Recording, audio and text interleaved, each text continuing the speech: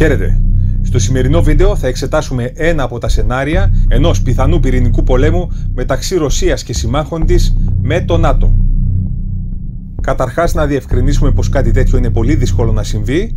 Ελπίζουμε να μην συμβεί ποτέ, αλλά επειδή η κατάσταση κλιμακώνεται μέρα με την ημέρα, ας δούμε ένα από τα πιθανά σενάρια που θα μπορούσε να συμβεί εάν ξεφύγει ο έλεγχος σε στρατιωτικό επίπεδο και εξελιχθεί σε έναν παγκόσμιο πυρηνικό πόλεμο. Εννοείται πως μπορούν να υπάρξουν πολλά πιθανά σενάρια, εμείς όμως θα εξετάσουμε ένα από αυτά.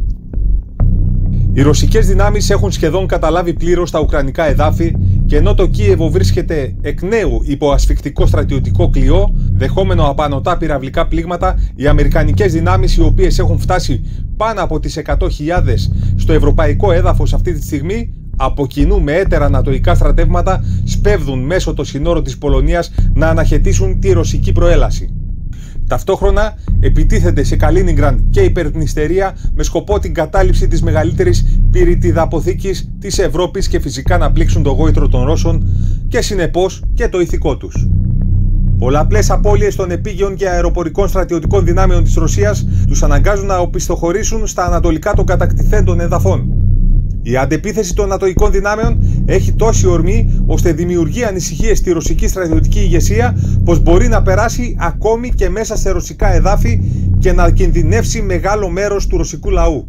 Νέα πολεμικά μέτωπα ταυτόχρονα ξεσπούν σε διάφορα σημεία του πλανήτη όπως στη Μέση Ανατολή, στα Βαλκάνια και την Νοτιοανατολική Μεσόγειο. Ω εκ τούτου, οι συμβατικές δυνάμεις της Ρωσικής Ομοσπονδίας υποχρεωτικά εκτείνονται σε μια τεράστια αμυντική γραμμή με αποτέλεσμα να μην μπορούν να σταλούν οι απαιτούμενες ενισχύσεις στην περιοχή όπου εμπλέκεται ο κύριος όγκος των ατοικών στρατευμάτων. Σε έκτακτη σύσκεψη του Ρωσικού Συμβουλίου Ασφαλείας αποφασίζεται η λήψη άμεσων προληπτικών μέτρων για να προλάβουν τα χειρότερα. Η τακτική του πρώτου πυρηνικού πλήγματος των ατοικών δυνάμεων τέθηκε σε εφαρμογή. Σκοπός, ο ευνηδιασμός της Δυτικής Συμμαχίας και η ελπίδα να αντέξουν το κύμα των πυρηνικών επιθέσεων που θα πλήξουν τα ρωσικά εδάφη ως απάντηση. Ο πρόεδρος της Ρωσικής Ομοσπονδίας δίνει το πράσινο φως και αποδεσμεύει τους κωδικούς των πυρηνικών όλης της χώρας.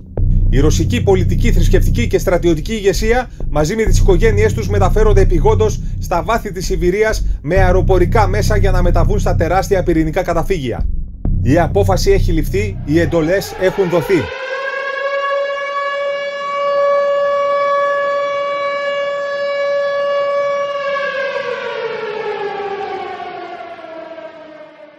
Ξεκινάει η χρήση τακτικών πυρηνικών όπλων με χαμηλή σχετικά ισχύ ώστε να ανακόψουν τις νατοικέ δυνάμεις μέσα στο Ουκρανικό έδαφος.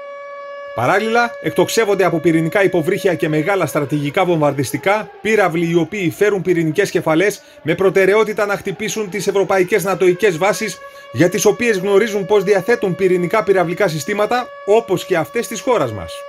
Το ίδιο συμβαίνει και στις βάσεις πυρηνικών της Βρετανίας.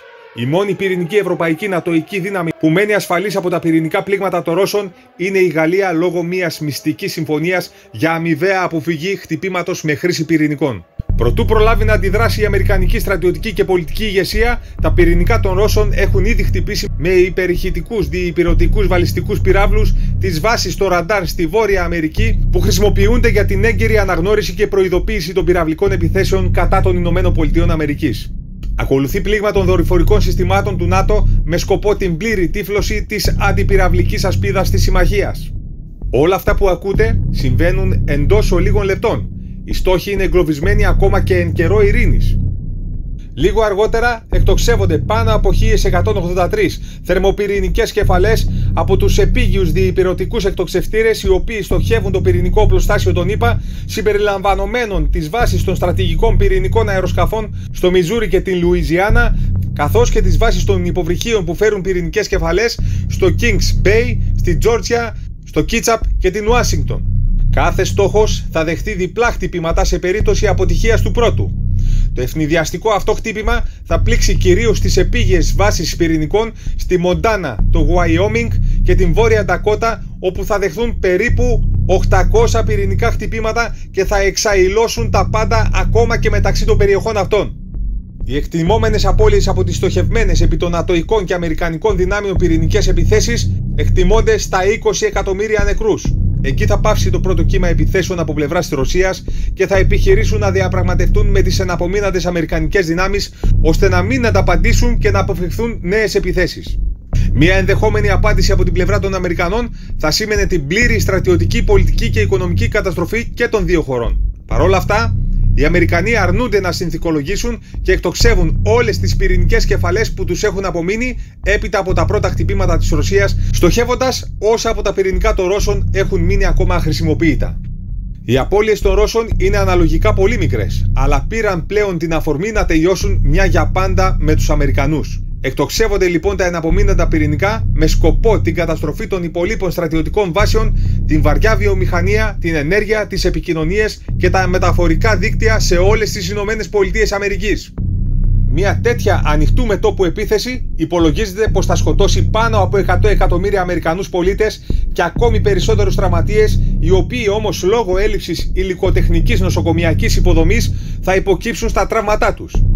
Οι χώρες της Ευρώπης που δέχτηκαν πυρηνικά πλήγματα από τη Ρωσία έχουν παγώσει και κυριολεκτικά και μεταφορικά και αδυνατώντας να απαντήσουν σε ενός τέτοιου είδους επίθεση, η δυσαρέσκεια του κόσμου από τις απώλειες, την πείνα και όλες τις υπόλοιπες δυσάρεστες καταστάσεις που τους εξέθεσαν οι στρατιωτικές και πολιτικές ηγεσίες των χωρών, τους αναγκάζει να στραφούν εναντίον τους με σκοπό την αντικατάστασή τους και την συνθηκολόγηση και συνεργασία των νέων ηγεσιών μαζί με τους Ρώσους.